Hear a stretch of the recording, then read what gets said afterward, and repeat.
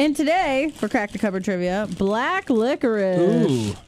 Smells gross. Neither one of us are a fan of this. No. The, oh, the smell is killing me. Yeah. Two cent fuel saver. anyway. All right. So, So who wants? Are we just taking like a bite, or like half of it, or all of it, or like what? a, a, well, I think we should do all of a string at once. Mm, a Because then it combines the horrible flavor with the Trying to inability to, lot? talk. Okay, cool. Yeah. Am I asking first, or are you asking I, first? you are because you have a card out. Okay. What area of Manhattan is ruled by Bill the Butcher in gangs of New York? Manhattan. Five points. Oh. What is the? It says what area of Manhattan. You didn't Oh, what area of of Manhattan? I thought it said what area of New York. What area of Manhattan is ruled by Bill the Butcher and gangs of New York? Oh, okay. I forgot your about the licorice. Manhattan word. Mm. Yum. God, terrible. All right. What is the name of the carnival arcade machine that makes Josh big in Big? Is it Zoltron or something like that?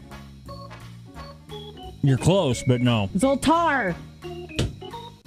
Damn it. I knew it was Zol something. I'm like winding them up to put them. in. Oh, Okay. God, this is gross. Ah, What show marked Henry Winkler's short-lived return to sitcoms in 1994? I don't know. So you give up? yeah. Monty. That's why it was short-lived. Now you're regretting the whole the whole string, right? Bet I am. mm-hmm. Hold on, I gotta do some more sewing here. Yum. Oh. Oh. what trio declared bankruptcy on July 3rd, 1995? The same, The same what?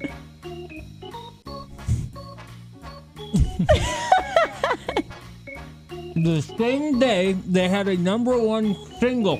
TLC. Yum, you love this licorice. I hate you so Well, much. the year right now. 1995, I kind of gave it away. I didn't really answer it. if I had, I wouldn't have asked that one. All right.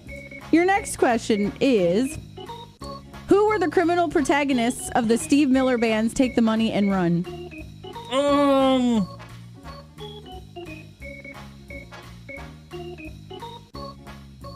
Billy Joe and Bobby Blue. Yep, you're right. Yeah! Don't call it a comeback, I guess. Are you kidding me? I'm so bad. Ah! I hate it. This is so bad, Billy Joe and Bobby Blue. All right. Who actually eats this and likes it? I don't know. 'Cause what was the 1998 sequel to a fighting arcade game Soul Edge? I couldn't really hear you, but I don't know much about arcade games anyway, so I don't know. Soul Calibur. Oh, yeah. Put that in your mouth and I'm done.